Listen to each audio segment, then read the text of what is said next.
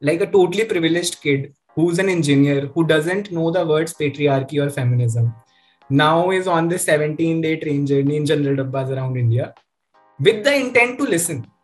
And I was not ready at all because we thought we'll make something funny of 20 minutes kind of a YouTube video, you know, the TVF kind of stuff we'll make. That was my understanding at least. Hey guys, welcome to Chalchitra Talks. मेरा नाम दिशा है and this is our guest episode with Samarth Mahajan. Samarth is a non-fiction filmmaker who's made some amazing films like Kaswa, The Unreserved and most recently Borderlands. I had a lovely conversation with him where he gave me some great recommendations on a variety of things. If you're new here, we are a recommendations based channel that brings you some of the finest recommendations on books, music, movies every single week. So make sure you're subscribed and with that, let's get into this episode. Hi Samarth, welcome to Chalchitra Talks. Hey Disha, thank you for having me here. I'm so excited about a conversation. me too. Um, I think uh, one of the recommendations that is fail proof for me is The Unreserved. A lot of people have come back to me and told me that they really enjoyed the documentary. So this is very special for me as well. thank you. Thank you. In fact, uh, I think after you recommended it on the channel, I, th- I think uh, we had about what 40, 50,000 views and they doubled. I think within oh, a wow. So thank you for bringing it up in that video a pleasure pleasure uh, but um, i also recently happened to see kazwa and with that i think i have seen almost all of your work and uh, one of the things i noticed is that all three of your documentaries have really great music and um, I was wondering what uh, process uh, of selection do you follow, if at all you do, and just in general, what music you listen to. So I think with the with the selection of music bit, uh, it's mostly me and my editor Anadi Athaley. You know, we are still figuring out our final cut. We've not arrived at it, and uh, I've been lucky to work with editors who have a very good sense of music. So it's usually they who shortlist music or somehow find some music. And I think one important thing is we never shy away from finding existing music. Like, for example, in Unreserved, we found a track by Indian Ocean. And yeah. I think uh, the interesting part of the process was like that, you know, let me write to them. Let me write to them. I am an indie filmmaker. I, I really like this music. Will they let me use it?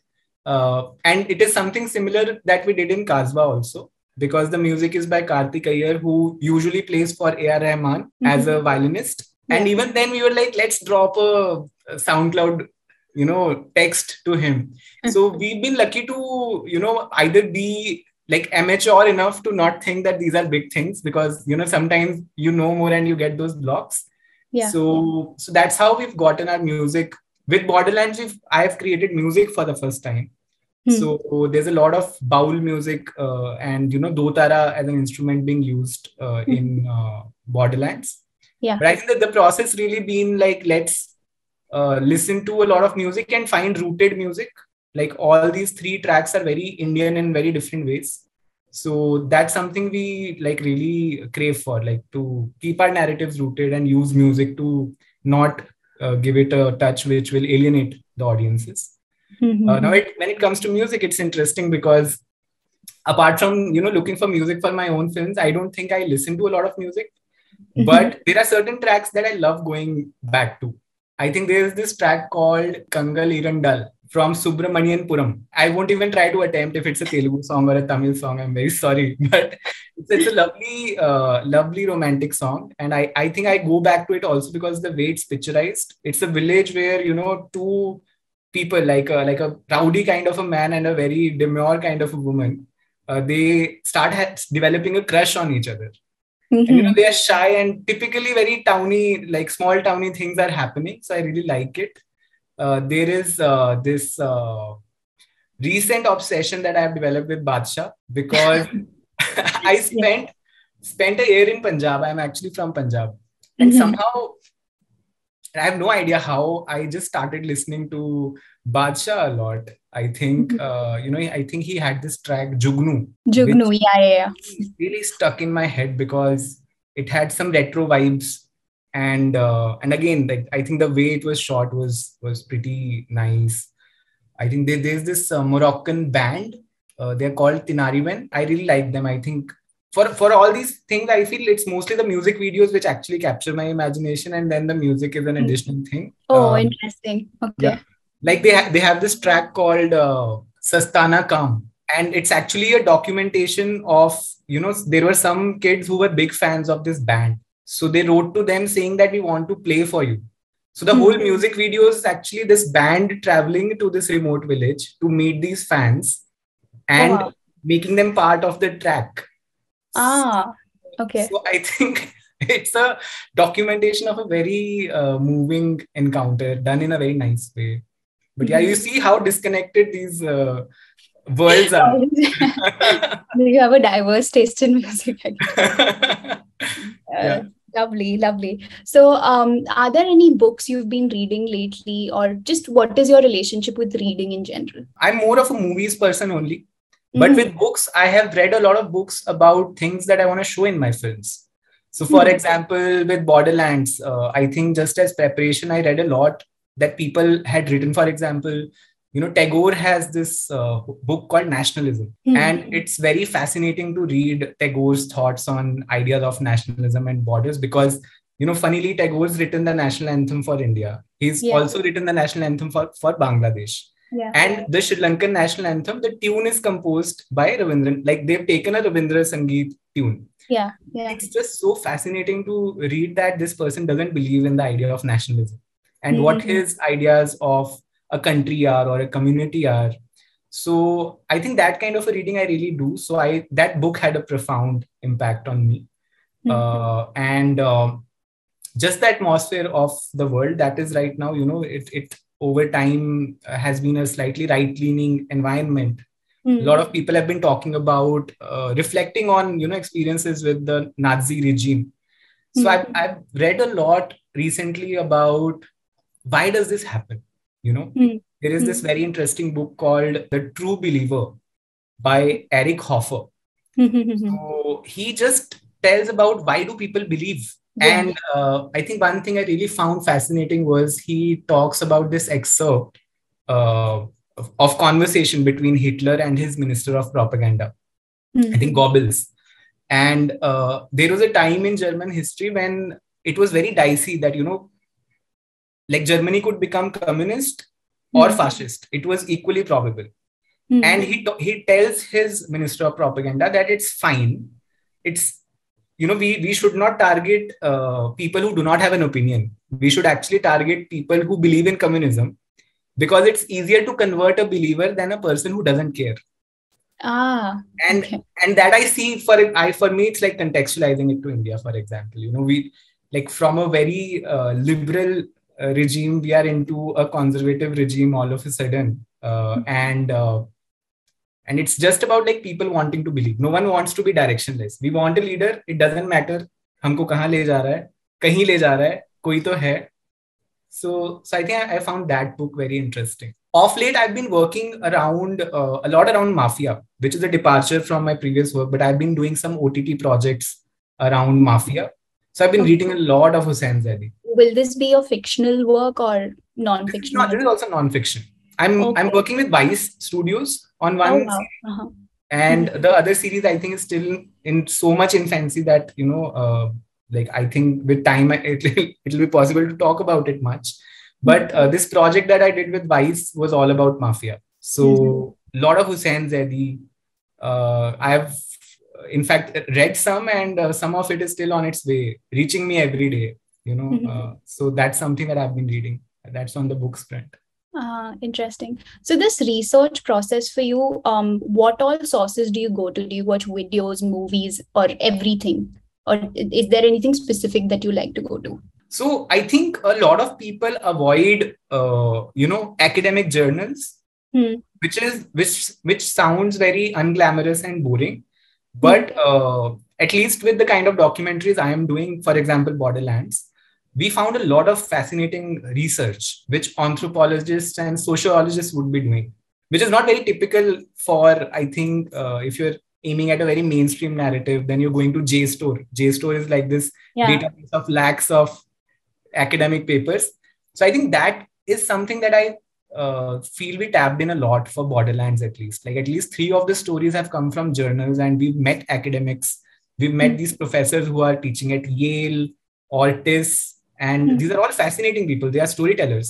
Although they're their storytelling may be slightly sterile but Mhm. uh, it has seeds of emotions which i feel uh, can be extracted then yes lot of reading on internet happens random reading we meet a lot of journalists because we also feel uh, people only write about maybe 10% of their experience so a lot of reading and then meeting journalists for real one thing i try to do personally is you know some people advise do not watch similar stuff and don't shade yourself I love watching similar stuff. Like when we made Kazwa, I searched the whole web for anything made on Fireflies because I wanted to make sure that our attempt was unique. Uh, Same with Unreserved, and uh, we found some fascinating documentaries from China, from US. It just allowed me to also believe that whatever lens I am bringing in is unique, and maybe I can also be inspired. And I don't mind being inspired. Like you remember in Unreserved, there's this whole sequence of people asleep towards the end. Yeah. Yeah. Right? So there's this uh, documentary called uh, Iron Ministry. Hmm. There's a thing called Sensory Ethnography Lab at Harvard University. Now, Harvard's producing some very fascinating ethnographic documentaries. So, Iron. Ministry was this film about trains in China. Hmm. Main difference being they've not interviewed people. It's a very distant, objective, observational view of the Chinese Like a fly on the wall type of. precisely precisely. It's fly on the wall. But they had this very fascinating sequence of people just asleep. And in that film it's a slow film. That sequence goes on for 10 minutes i feel. Hmm. uh, but i think we got that idea and it really fitted in well. It allowed us to close the film in a very beautiful way i feel. Hmm. so watching films is very important. Reading is important. Journals are important we try to read books also but i think in my experience we've relied more on, more on journalistic pieces on web and journals. Yeah. That's how the research process goes. But uh, obviously a lot of it changes the moment we are on ground. So there's an online on laptop on zoom calls research.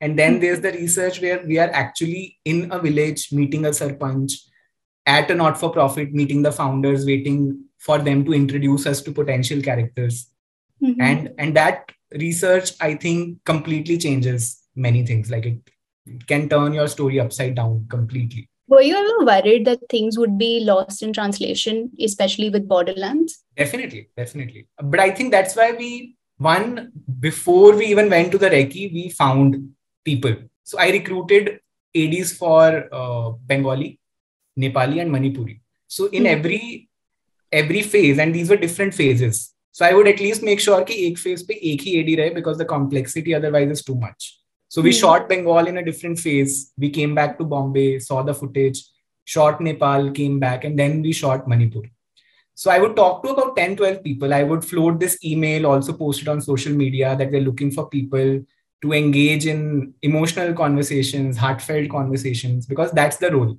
You need to hmm. talk, you need to talk your heart out. That's the role right? Yeah. And then would meet them and they would recce with us. Oh, So okay. even during recce, it's they who are building their relationships because I know I don't want a translator because Hmm. in the whole act of translation and you've seen interviewing and conversations are very integral parts of at least my approach Yeah. so the moment there's a translator you and i cannot connect directly Yeah. The role was very clear for these associate directors that you are going to lead the story. These are your characters also. These are your friends. Mhm. and uh, so that was one way that we reduced this lost in translation thing because even on the recce you know there's obviously this induction period where initially they are they are not sure they're hesitant. Then either they cry or i shout sometimes. This also happens. But ultimately you come on the same page. On the shoot what we would do is whenever there's an interview and i wouldn't sit in the interviews and we don't even have questionnaires because we are like कि ये broad story है किसी की जिंदगी को पांच हिस्सों में डिवाइड कर दो and then let's try to explore what people like to talk about what what are what are they saying they want to talk about that's why there's a lot of new information in the interviews Hmm. uh, but when the interview's done we come back and our associate directors would translate everything to us कि ये बात हुई है Hmm. for Okay. example we did we do an interview in bengal for example noor's story which is in a shelter home for rescued women so Yeah. she, like joyona who was our associate director she interviews we come back in the hotel freshen Mhm. up chill get our energy back and then we would sit for three four hours to deconstruct that one hour interview Hmm. and then we would find out okay has this interview worked out and if it has worked out what should we shoot alongside it now that this is the story so footage review becomes very important because the editor now editor doesn't have visibility so Huh. we also got a lot of volunteers Hmm. and this was my process because we had run out of budgets so again I, on social media i just posted we are looking for volunteers to translate one hour of footage so for example we had 20 hours of footage from bengal Hmm. so we got um, 40 volunteers and two different volunteers uh, translated the same one hour basically. So we got those transcripts for the editor so that it's not lost in translation for him. Okay. That's that's lovely to know because I was always when I was watching the documentary that is something that struck me immensely. But as you rightly said, um, interactions with people and raw interactions are a very big part of what you do. Have you uh, managed to figure out what is something that you can say to people that will enable them to be honest and open with you now? I think it's most about what you don't say. Like, you know, uh, sometimes people say politically incorrect things and we tend to correct them or we want to impose our ideas on people. I think those are the parts where people become really wary that, you know, should I open up to this person or, you know, this person's actually policing me. So we try and not do that. And I think uh, it's important to meet people before you start shooting with them. You don't want to go in with the camera directly. At least so for example obviously with unreserved we had to go in with the camera because that was the process. But you imagine you live in a border area someone's come from bombay and with the camera they directly want to enter you your house. So Yeah. obviously you'll be uncomfortable. So i think one very important thing is how do you gain access? Who introduces you to the characters? Hmm. so if they trust that person and if that person is introducing us implicitly they give us some trust they are ready Yeah. to sit with us. And then it's more most about uh, your intentions. What are you trying to do with the film? So we had to explain to people this is not a facebook live. We are not from a news channel. Then it's more about them understanding your intention with the project and then just flowing with the process. But in, in the unreserved because the camera was always there there we had a slightly different process because there there the, i think the process was me smiling creepily at people and then just seeing who smiles back and hmm. then just asking them where are they going? And starting a conversation from there. It's the easiest thing to start conversation with in a train. आप कहाँ जा रहे हैं? क्यों जा रहे हैं? And if the conversation became into something at some point I would say कि अच्छा हम एक फ़िल्म भी बना रहे हैं. Would you mind giving me an interview बहुत मज़ा आ रहा है आपसे बात करके। So I think it's it's more about eye contact smile just listening to them and not telling them कि आप गलत बोल रहे हो.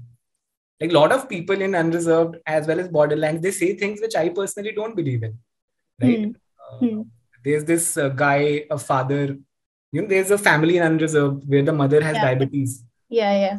fathers so directly like कि मुझे तो लड़का चाहिए I I want a guy and the mothers also like कि एक लड़का तो होना ही चाहिए now as problematic as these thoughts are uh, I think the the decision that we made was we will not cut them we will listen to them and try and understand Interesting.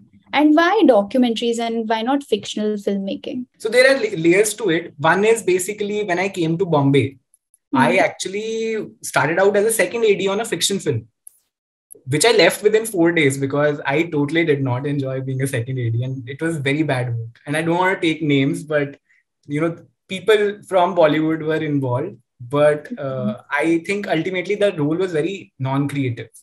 Hmm. And uh, then I met Ashay Gangwar, who runs Camera and Shorts, who produced a lot of my work. And he's from the same college. We both come from IIT Kharagpur. And uh, we talked because he was also just starting out in films in Bombay. We went to this place called Bottles in Versova. We had some beer and we decided to work together. Because mostly there's nothing, uh, you know, that was that seemed to be the simplest way of starting to make films. He wanted to produce, I wanted to direct. Yeah. and uh, he was a cinematographer and he was interested in documentaries. And camera and shorts as a production house is all documentaries. So at that point for me it was just uh, i think uh, with with my flow i was like okay let's try documentaries because i didn't have an affinity ashay had. And Hmm. ashay could shoot. I didn't even know how to shoot. I still don't know. I don't i always have a cinematographer i always have an editor my technical skill set is zero Yeah. So that's how it started. But I think when I started making nonfiction, and especially I think after Unreserved, not mm-hmm. so much about not not so much after Kazwa, but Unreserved was a transformative process for me because you can imagine like a totally privileged kid who's an engineer who doesn't know the words patriarchy or feminism now is on this 17 day train journey in general dabbas around India with the intent to listen. And I was not ready at all because we thought we'll make something funny of 20 minutes kind of a YouTube video, you know, the TVF kind of stuff we'll make. That was my understanding at least. Mm. And uh, the moment people started talking, because, you know, I had no idea people have so much to tell and so much emotional baggage people carry with themselves and yet manage to just you know carry on with it some of the conversations were very heavy obviously coming back editing it looking at it from a third person's point of view then uh, mm-hmm. it was something which really moved me and okay then i realized okay non-fiction is very interesting because we can talk about people who wouldn't make it to uh, netflix or an amazon prime or a theater you know these mm-hmm. are people who are i call them everyday people but if you look at it from a commercial perspective they're nobody people because mm-hmm. they are considered to be nobodies right yeah. and that somehow started fueling me that you know these are these are narratives which would never get captured probably. So i had some stories which i thought i could tell better because i had done it once. And i enjoyed the process of just listening to people who are not celebrities because they i don't think they come with any air around them. So the connection is very genuine. And i get to travel. Like uh, with borderlands i think half the excitement was that okay we'll go to all the borders of india. We'll just go to all the extreme parts. And i think if you see Dhauli's story which is literally at the border something like that you know if, if you yeah. feel it it stays with you. So i think over time non-fiction sort of become a passion you can say. Although i still believe i want to do fiction and there are ideas and i don't want to stick to this but it's something which allows me to talk to people travel. So it's fun. Mm-hmm. Makes sense. Also, I can imagine that there must have been a lot of impactful conversations that didn't make it to any of these uh, documentaries. For Borderlands, I think uh, one very moving story that, you know, it happened in the beginning. So we weren't sure how to shoot it. It couldn't mm-hmm. make it to the edit because it was just shot differently compared to rest of the film. And this was in Gujarat. Uh, so what happens in Gujarat is a lot of fishermen from Gujarat, they venture into Pakistani waters because there's hmm. more fish there yeah. And uh, this is near the Daman Diu area. Mm-hmm. And in, in Kutch, the opposite happens. Like Pakistani fishermen come into Indian waters because there's more fish here. Mm-hmm. So uh, we have this very funny relationship with Pakistan where some of their fishermen are in our jails, our fishermen are in their jails. And mm-hmm. if it's Eid, Pakistan will say, okay, it's Eid. We will send 500 of your fishermen back. And if it's Diwali, we'll be like, Arey, आज दिवाली है हम 500 आपके भेज रहे हैं and fisherman sort of become I don't know what they become some sort of Cadbury का डब्बा in this whole thing so we went to gujarat to explore this story and uh, we found a family uh, whose patriarch so to say or the you know father of this guy was in pakistan and uh, i think a lot of them love tobacco so they also developed cancer so mm. he had cancer. So he basically passed away in the Pakistani jail. Mm. And the process of uh, bringing back that body was very complicated. Mm. And we started talking to this man who basically found out that he's lost his father maybe one or two days before. And the whole pain of not being able to be able to see him immediately or why is it so complicated for his body to come back and he was talking to us in hindi otherwise in that village we found it very difficult to talk to people in Hindi. Everyone was talking in Gujarati. And uh, I asked him like if, if he prefers talking in Hindi. And he talked about how uh, he's talking in Hindi because none of his other family people know about this. Oh, okay. Wow. Okay. So that moment stayed with me. Like that moment was very powerful because he's the older son in the family and he knows everything and journalists know like there are journalists coming talking to him but rest of the family is slightly unaware and mostly women and he's just sitting there telling that actually i can't talk in gujarati with you so so that was very powerful and uh, we couldn't have that moment in the film because we just didn't shoot it uh, mm. in a in a more coherent way compared to the film. Mm. So, so that's there. But there's so many.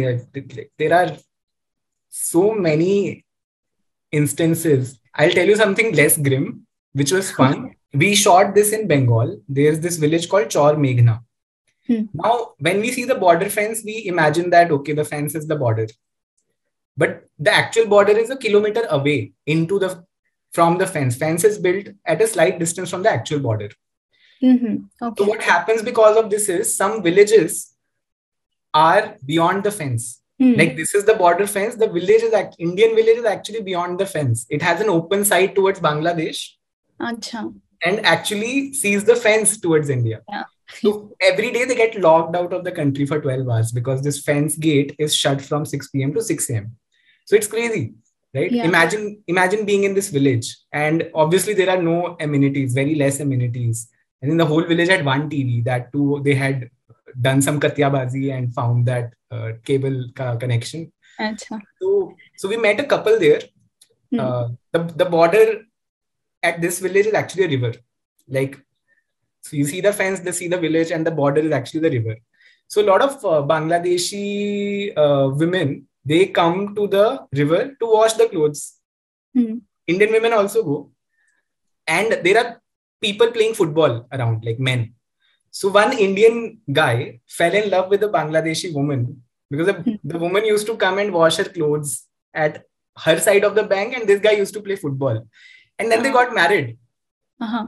And then they went to the BSF to tell them, the border security force, that now we're married. She's come to India. Now she's an Indian. Yeah. So, so like, and then they just started living together. Like she just shifted. You know, you can't formalize in such anomalous geographies. So Mhm. that also I really like, like a cross-border love story of a village which is actually in such a anomalous geographical location. Yeah. But yeah, it, it was a very complex story to tell. I think this whole idea of just explaining geographically what is happening, uh, it required a lot of information which we didn't have. And I, I was not keen at all to have voiceover. Did you feel frustrated that such beautiful stories were left out? Well, I've gotten used to it. Uh-huh. I think with, with my editor, I think so. I really like my editor. He's very zen. And I think it's mostly from him that I am like, if he's zen, then I should probably be zen kind of a zone. Definitely, it is sometimes heartbreaking. But kya kar sakte? We can't obsess over it. I'm very pragmatic that way. I'm like, okay, this is the constraint of time. This is the constraint of budget. Hmm. And I have this. Let me make the best of it. And then it's an intellectual debate between me and the editor. Like I really obsessed over the Gujarat story. And he cut it for me. He cut it for me in like three different ways, but it's not working. I also know. So after Mhm. a point, I have to give up. And um, the only way we can continue filmmaking is to accept certain failures, so to say, and move on. Right? It's full of that. So those stories are just for you and the crew. and you. and now me and uh, all of our viewers Yeah. listening to all these interesting stories is really making me want to ask you for travel recommendations in india okay, travel recommendations in India. That's interesting. See, I think in terms of cities, I love Calcutta. I Mhm. think uh, that city has a unique flavor, which is, uh, you know, call me a romantic or call me a leftist also, but that city is slightly untainted by markets. You know, there's free markets, malls everywhere, shops everywhere. You can still get uh, a chai for two rupees in a kulhad at some places in that city. And I think that's beautiful. I think I cannot live in Calcutta, but if you want a one week break from everything, you can go to Calcutta. And there's a lot of uh, beautiful cafes, buildings. I think just walking around in Calcutta, looking at buildings which may fall at any time, but there's a certain charm to that whole uh, architecture and the way the city is uh, just unplanned. I feel it's just totally unplanned. Hmm. So I really like Calcutta. In terms of my filmmaking, I think I- we went to this place called Nargaon. It's not really a tourist place. So this event, right, which we captured, Milan Bazaar, which happens only once a year, where uh, it's like the Paila Baishak. It happens on 14th or 15th April. And people from both sides of the border on India and Bangladesh, for six hours precisely, are allowed to come near the fence and say Happy New Year to each Hmm. other. I Hmm. think once in a lifetime. I think I I too uh, experienced it much quickly because we were making a film and it's yeah. in the film Uh, I think if more people can experience it, I think the toxicity around borders will go. And I think that that feeling is surreal to see people very tangibly divided by borders. You know, obviously Bajrangi Bhaijaan वगैरह में दिखाते हैं, but that's all created, right? Mm-hmm. And this is so real. And people using people sending gifts to each other uh, which was very surprising to us because I thought that people are just gonna cry, but they were actually smiling, sending gifts to each other. I think that was very moving. There's this place uh, called Deoria, Deoria mm-hmm. in Uttar Pradesh.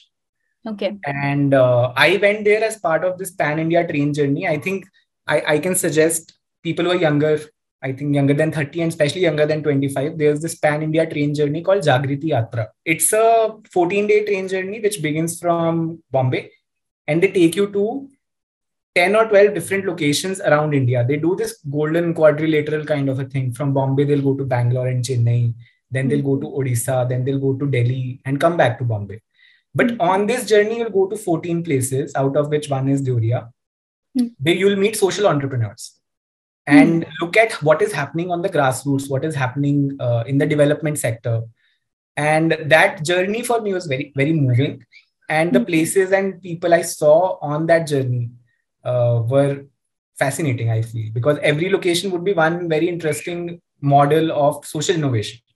Mm. So it's a different kind of travel. I feel like it's it, it's more about living in this train and sleeper compartment with 400 different people, right, yeah. of very diverse backgrounds, and uh-huh. then, then just exploring india in a very uh, different way because you're looking at india through the lens of how do we actually build this nation right mm.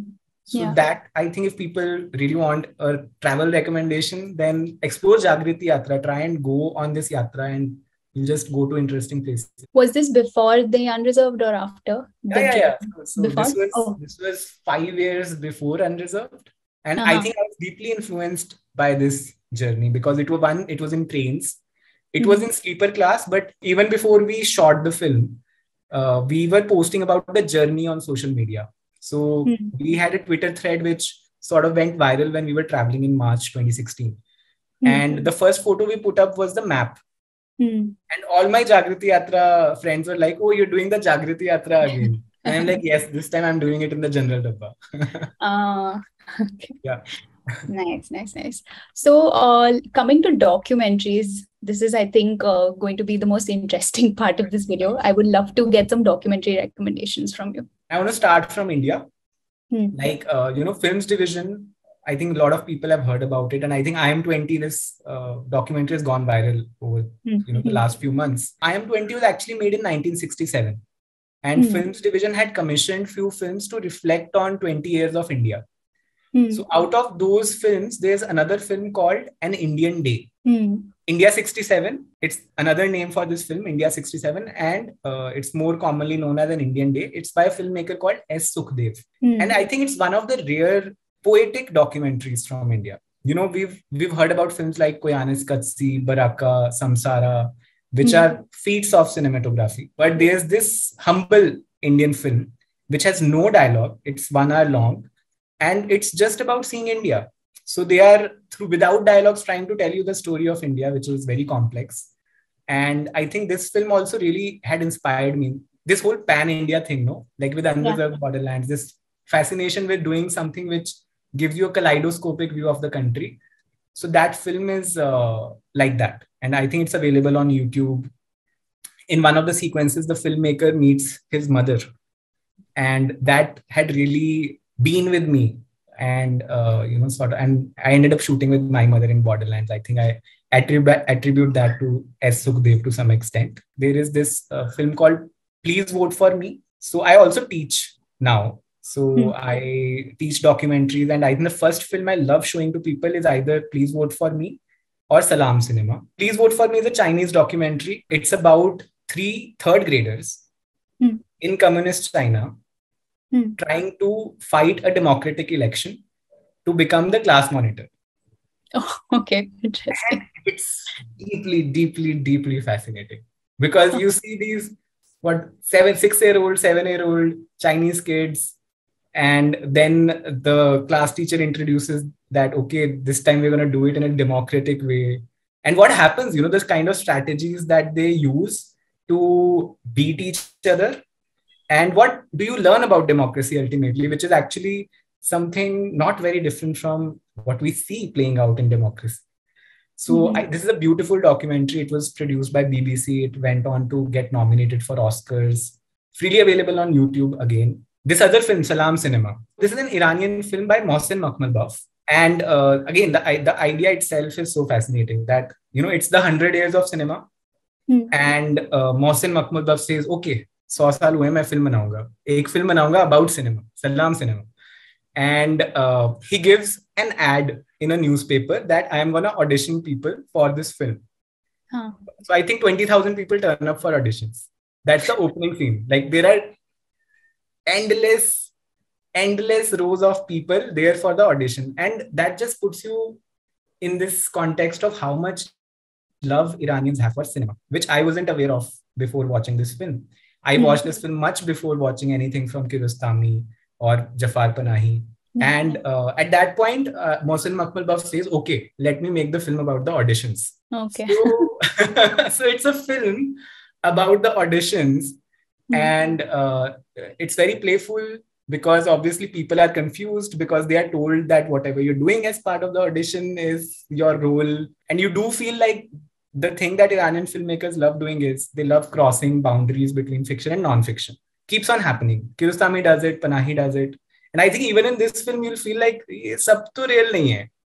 कुछ तो But किया है इन्होंने but but that's part of the fun of that film right I think if I recommendation.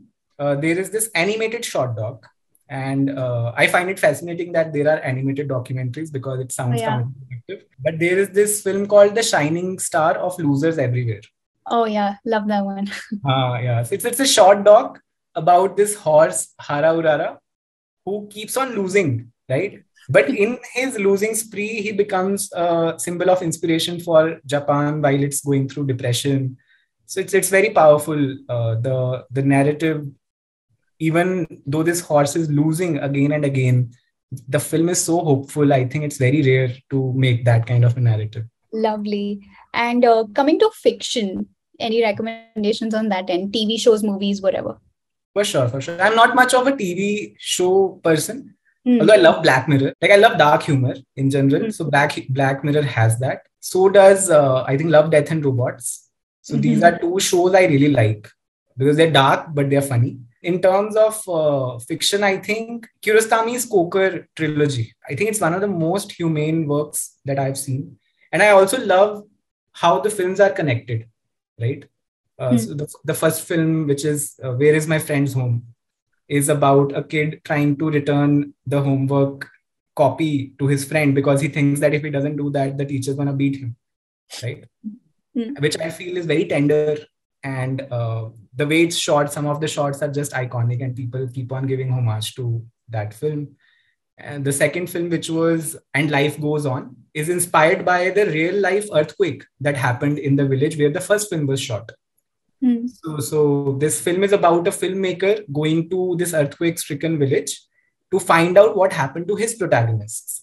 Mm. it's like going into the meta layer of where is the friend's home, and uh, the third film, which is through the olive trees. What happens in the second film is that okay, there's this earthquake-stricken village. So there's a scene between a married couple who've recently gotten married amidst the earthquake, and the message is that you know life goes on, right? Marriages do happen and the third film is totally based on this scene because they show in the third film that a crew was shooting the second film. Ah, okay. What was actually going on? Like on camera in the second part of the series, these people are a couple. Hmm. But what are they actually? So I think uh, it's not much of a spoiler, but the guy is sort of head head over heels for the girl. The girl's not interested, but they're shooting this as a couple and the whole film is again it's extremely funny and it tells you so much about uh, human nature so yeah. this i think if people can watch this series it will deeply move them and expose them to the magic of iranian cinema before even you know people like asghar farhadi or this i think even before panahi panahi used to assist Kiarostami, and he is there in the second part. Like you can see him as part of the crew. Mm. Uh, so this I really like.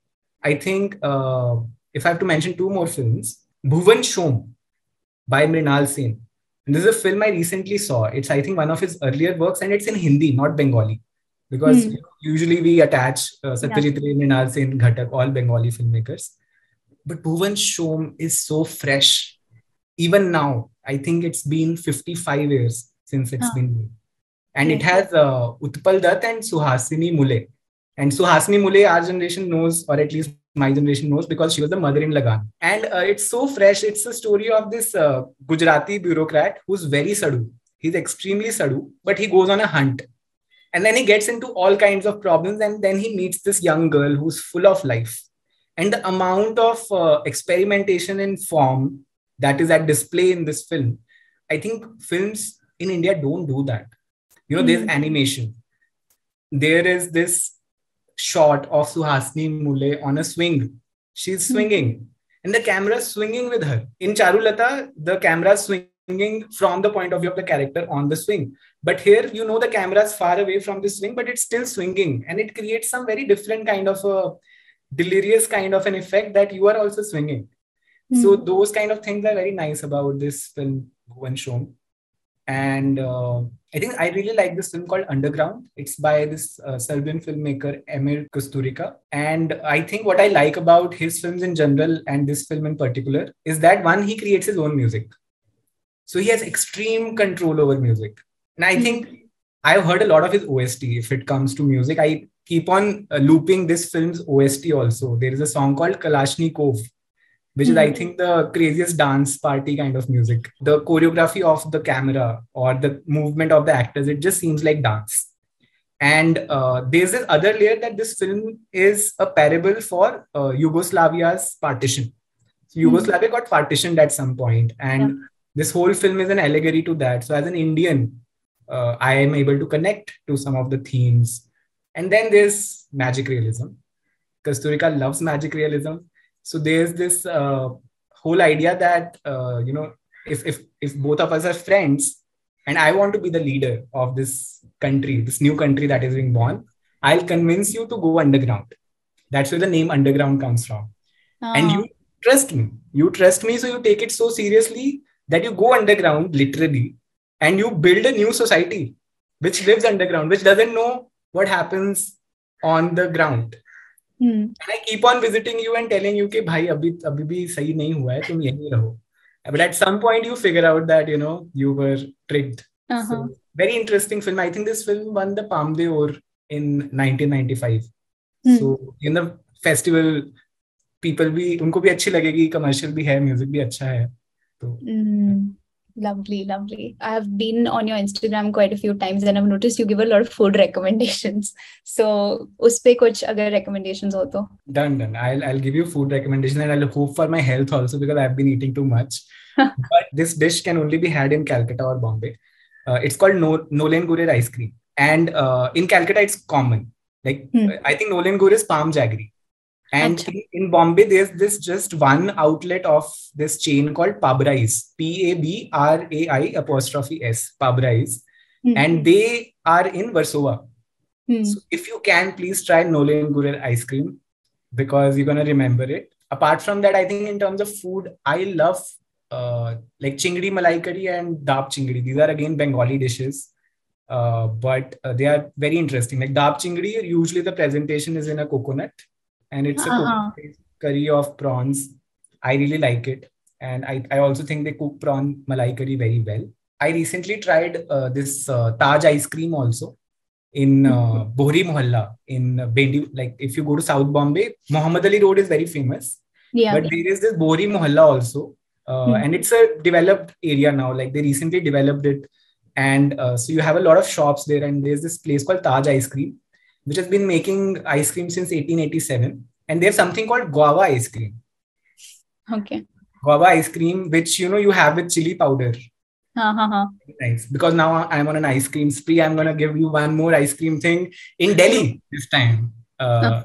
And in, in, Delhi, there's this place called Kuremal Mohanlal, very close to the Chavri Bazaar metro station. It is Old Delhi, and mm-hmm. they have jamun ice cream Oh. And that again, they give it with some masala. So it's different from your generic sweet ice cream. Like it's masala masaledar ice cream.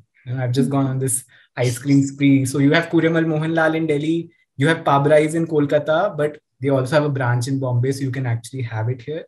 And then there's Taj ice cream, which gives crazy guava ice cream. And then uh, I think if I have to go to the holy grail of all dishes, the makkah of my food world, it is Aslam butter chicken. It is in Chavdi Bazar only. It's in the Matia Mahal Bazar in front of Jama Masjid. Mm. Aslam butter chicken. If you want to experience bliss, if you want to see there's Allah, there's Ram, and everyone will come together, it is at Aslam butter chicken. They give the craziest butter chicken, I think. Thank you so much. Thank you. So, before we end this conversation, is there anything you would like to plug? Just root for us. I think we've made a film, right? Borderlands, uh, we've spent four years making it, and now we're screening it across cities.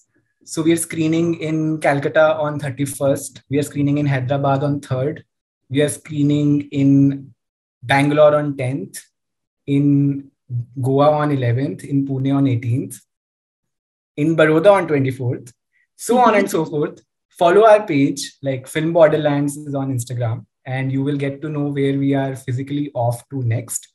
And hopefully, through all these physical screenings, some digital people will also notice the film because we've been trying to peddle it for some time. But we've had some very interesting screenings at Harkat Studios in NCPA in Ahmedabad. So I'm looking forward to more uh, physical screenings interacting with audiences after the uh, shows yeah please please follow chalchitra talks if you want to get the latest on you know what are the great films to watch what are the great books to read interesting food to eat especially ice creams. Please subscribe to chalchitra talks. I've been following the channel for i think more than a year now and i have found a lot of uh, value in terms of just the diversity of recommendations that come up. So kudos to you and i would really urge all my followers to you know follow chalchitra talks also